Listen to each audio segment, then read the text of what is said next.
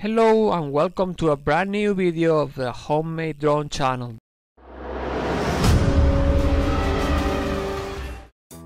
So on today's video we're going to be dismantling the previous 550mm drone and creating a brand new drone from scratch from all of its components.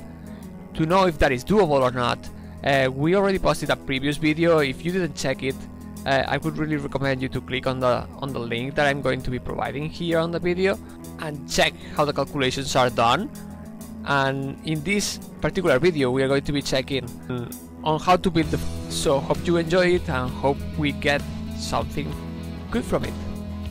So mainly this is my previous frame. This is a, the 550 uh, frame with the 1000 revolutions per volt uh, motors. So challenge was definitely to set a brand new setup with a much smaller uh, drone that could still hover and lift uh, the ground.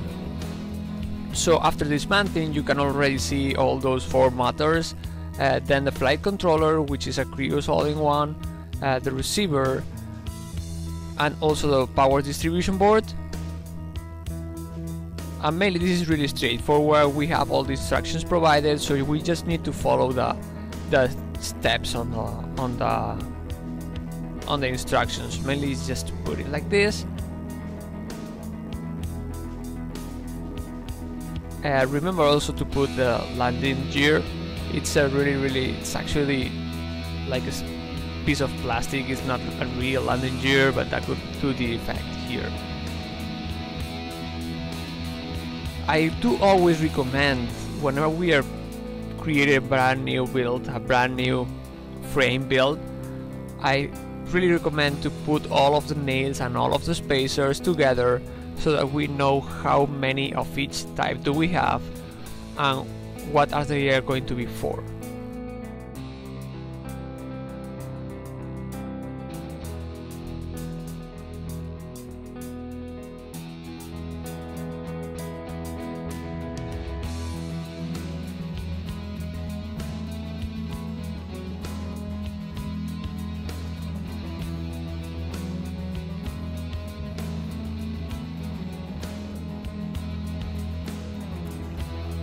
Okay, so once we have it clear, we're going to be starting to put the nail uh, on the part below and then we're going to be uh, putting the spacer above. So let's do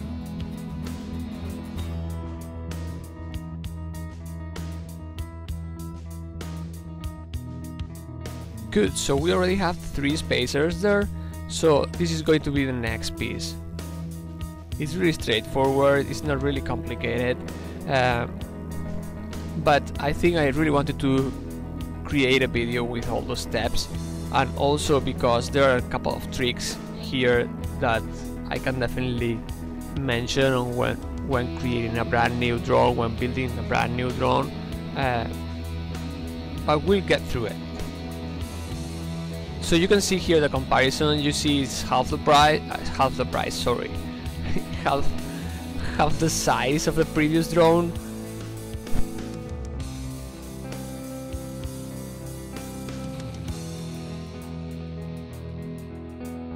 Also for the landing gear, as this is a piece of plastic, so I would definitely recommend you to move that a little bit, and bend it a little bit so that it's easier uh, to install.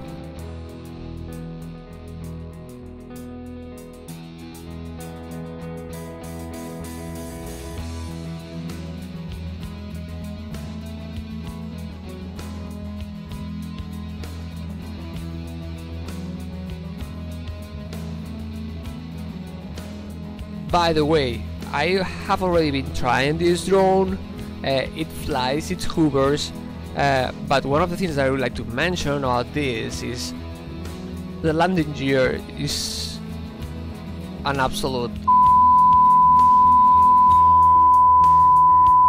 so meaning within the first flight I, I didn't actually crash it I just uh, landed with with the landing gears. I know it's a heavy setup.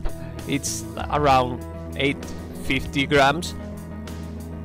Uh, but they just what what really happened on this is that nails are um, the, na the nails are nylon nails they, they are like plastic nails they are not really like um, aluminium or any other metal nails so what happened within the landing gears is that just by landing a little bit strongly uh, they just broke the nails. So I needed to change all of the nails and, and of course I lost the I lost the landing gears. So not the best thing. So you can definitely just skip that. And actually if you do have your own nails I would definitely recommend you to change them all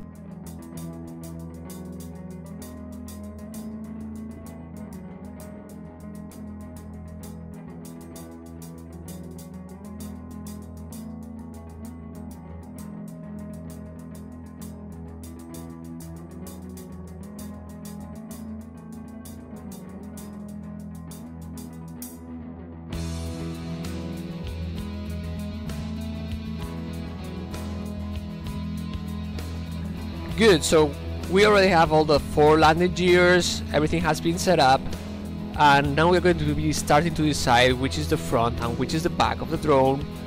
So we already put here like the uh, power distribution board, taking into account already what is going to be the front, what is going to be the back. Just remember the black is going to be on the back for this setup. Yep, and I'm actually putting here this piece above um, above the power distribution board just to ha have a little bit more stability.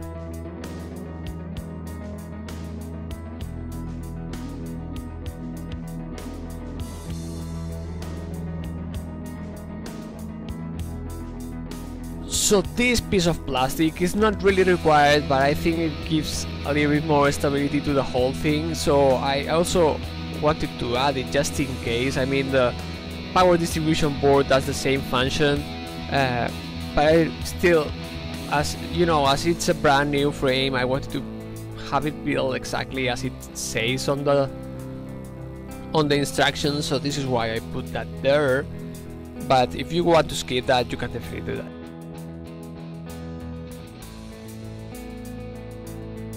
So now we're going to be adding some more spacers and after that uh, the the controller is going to go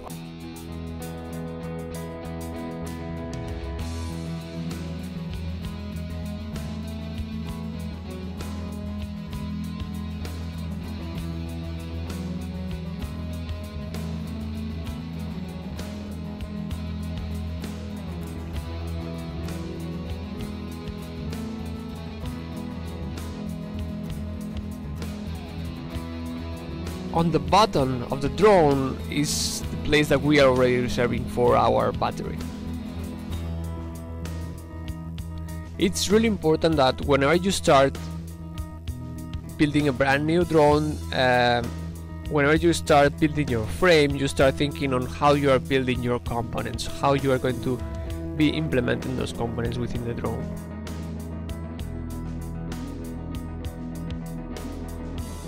So there we go, we are already setting up our flight controller. I didn't even bother to take all the cables for the RC module.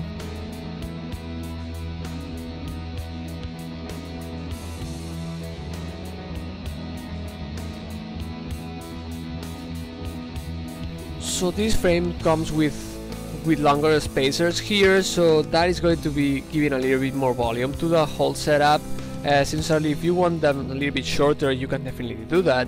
Uh, but for my case, I, I definitely think that was a, like a good setup. I'm not into racing much or anything like that, although the drone race is pretty well, it's quite quick.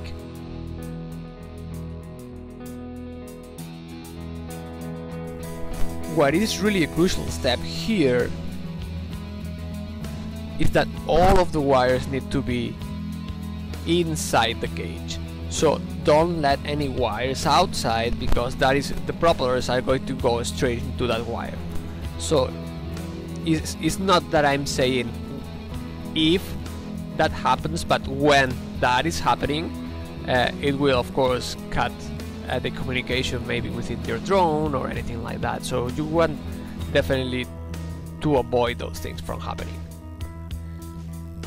This part was a little bit challenging because the space provided for the ESCs is not big enough for these 30 amps ESCs that I used to have. So what I did is just blend them, uh, bend them like this and put a breather between them so that I could have a little bit, uh, so I could put them like this, as, as you can see there.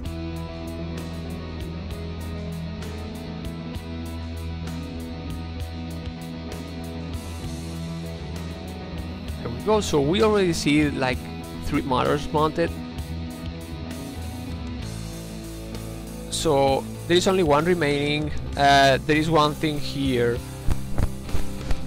which is uh, as per as per the power distribution board having a, re a really really uh, wide cable. So this ESC it's a little bit uh, on a higher plane than the rest of them. Uh, that shouldn't really affect much. The only thing is just is just not symmetric. Uh, but still the flight controller should be controlling those differences. And we also added here like the band for the battery to secure our battery there. There we go, so all of the motors are already there, in place. And it's time now for a small verifications. So we're going to be doing a couple of things. So first of all, uh, we are going to be putting a the multimeter here on the battery slot to see if there is any short, circuit. Uh, that's a really good step to do in any new setup just to ensure that you don't have any any short circuit that could be you know lighting up your battery straight away don't, you don't really want that so that's going to be step number one. And if that's the case if if if you're good there we can definitely go to step number two which is going to be check the rotation of the of the motors. And if one of the motors is turning in the wrong direction you can just uh, change any of those two wires. Okay so we get the multimeter and we put it on the on the position where it beeps if there is a short circuit we just need to put it on the two contacts of the battery and if you hear a noise uh, that could mean that there is a short circuit if not uh, we should be good okay so now we're going to be going to plug the battery in for the first time on this setup and check the rotation of the motor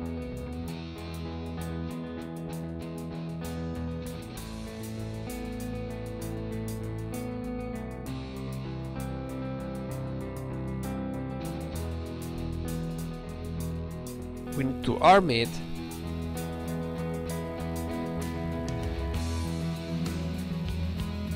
And then just try to verify one by one that they are on the on the correct rotation. So I'm going to be giving a the schema that needs to follow. It's here. This is the schema that we need to uh, use for the rotation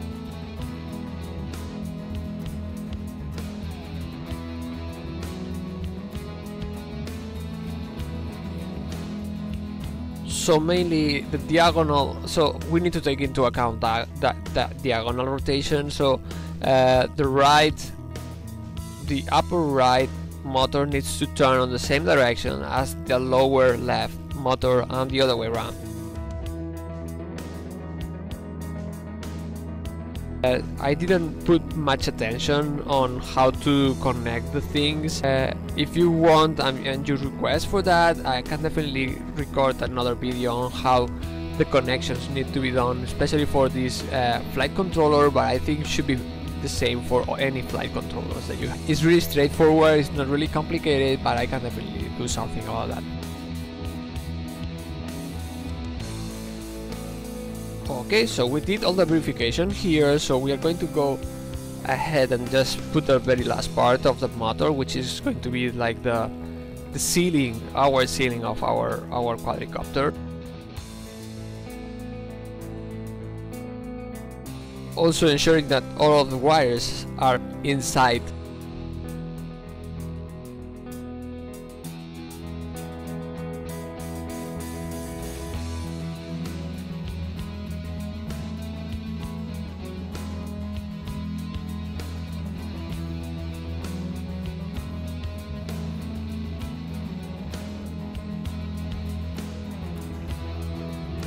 so here you see um, like small verifications that I did here especially for the ESCs I don't want them to be cut off uh, when I'm flying so I, I, put like a little bit more breathers on it um, just to ensure that this is working fine.